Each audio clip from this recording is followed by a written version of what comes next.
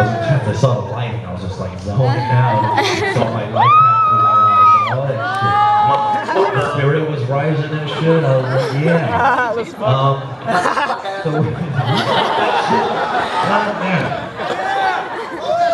So, so uh, yeah, I'm from Southern California. I, uh, you know, uh, and I know I'm in the Bay Area.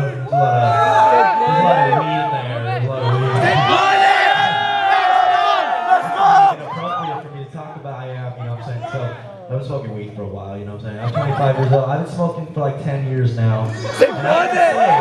I gotta say, you know, like, calm down, dude.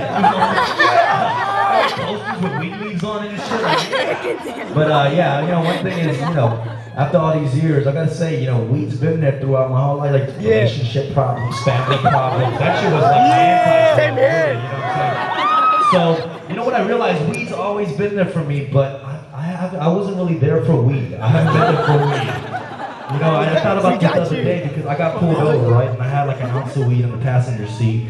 And I don't know, like that was just some lazy shit. I didn't even hide it anywhere. I put it on the passenger seat, like sit there. But it was right there. Cops pulled me over. He's like, yo, who does that weed belong to? And I was like, I never seen that shit in my life. So I was thinking in my head, if weed was a real person, I'd be like, oh, that's fucked up, dog. Ten years we've known each other. Ten years. So that's my story about what. Thank you, man. Thank you. And uh, this song is called Green. We Stop that shit, alright. This song is called Green. That's right. Some new shit. Everybody.